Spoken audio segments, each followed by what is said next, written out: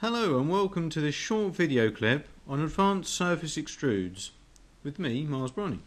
I'm going to demonstrate here the advantages over using a surface extrude to cut away geometry in a model compared to using the actual cut extrude feature itself. Now what I'm trying to do in this part is to select, take these two faces here and then cut in by 3 millimeters. To do this, because there's two surfaces here, because I'm trying to cut in by 3 millimeters, I have to do an offset from surface end condition. Now, to get both of these profiles done, it involves two cut extrude features. So the, the way you do this normally with the cut extrude tool, first I would have to create a plane. After that, I would have to create sketches.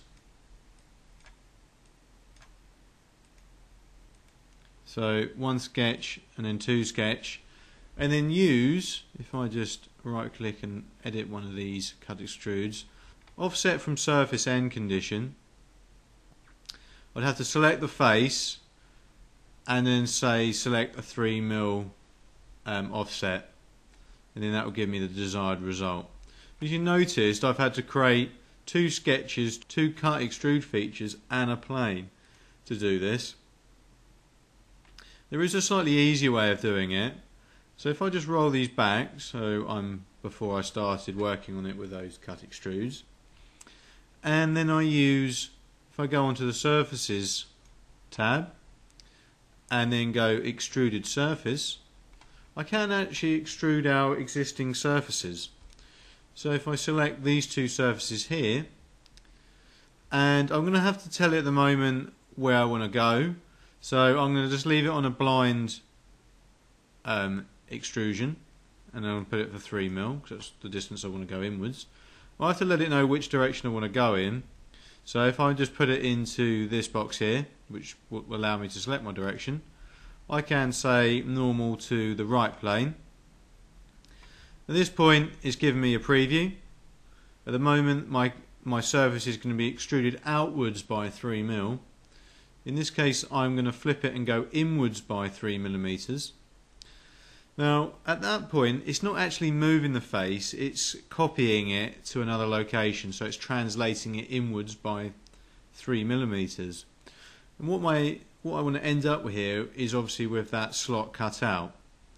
So what I can do is, once I've moved my surface in, is to bridge the gap between the surface I'm putting in and the original surface, so this one here. And to do that I can cap the ends. That will fill the gap between the two the two surfaces and then I can delete the original surface and then knit the results. Knitting the results will say it will take my capped surfaces that it makes and the original uh, translated surface, the extruded surface that it's going to put in, and merge them into one surface again, making it a solid body. So if I go OK to this, it may just take a little while. And there we go. So, as I said, this is the uh, the surface or surfaces that have been extruded inwards.